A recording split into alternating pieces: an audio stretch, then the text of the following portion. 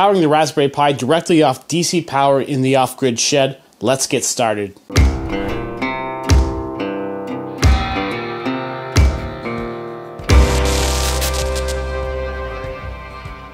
Alright guys, welcome back to the channel. So in the last video, I've gone ahead and hooked up a Raspberry Pi along with Solar Assistant. This is for monitoring the off-grid shed as well as controlling the inverter. Now I've gone ahead and hooked up this Raspberry Pi. I'm powering it directly off DC power, so I'm pretty excited about this. It's a big improvement to what I was using before. I want to show you some of the connections. Now to power up the Raspberry Pi, I'm using this little buck converter. Its uh, input range is from 8 to 35 volts.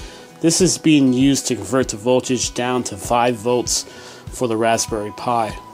Alright guys, so I want to show you the wires and how it's hooked up to the uh, entire system. So there's a positive and negative that comes off the buck converter and I'm running each side into the positive bus bar and negative bus bar.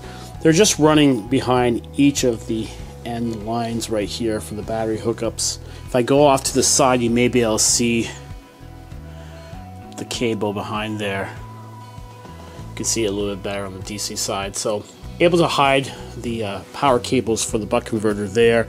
Also coming out of the, uh, the positive line which hooks into here, I, I, do have a small inline fuse just to protect that wire and the uh, components. I do take some pride in the design and the workmanship here. Uh, I tried to hide all my wires and make everything look nice and tidy and professional. So from there, there's also a USB line that comes out USB-C, it runs into this power switch here, then it goes up to power the Raspberry Pi.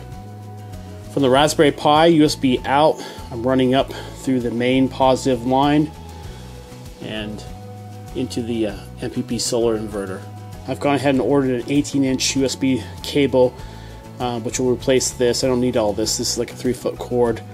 Not quite sure I'm going to do with the Raspberry Pi, if I'm going to mount it on the wall board, if I'm going to keep it loose like this. I may go ahead and design a 3D box for it.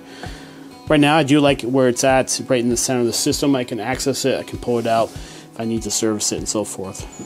Alright guys, so that's how I'm powering up the Raspberry Pi now, DC direct through that buck converter, and uh, it makes for a much more efficient system and uh, I'm pretty pleased with the results. All right, guys, thanks for watching. Please like, subscribe, hit that notification bell. Come on back for more videos, DIY, off-grid, solar shed, along with a bunch of other DIY videos. Thanks for watching. Take care. Have a great day.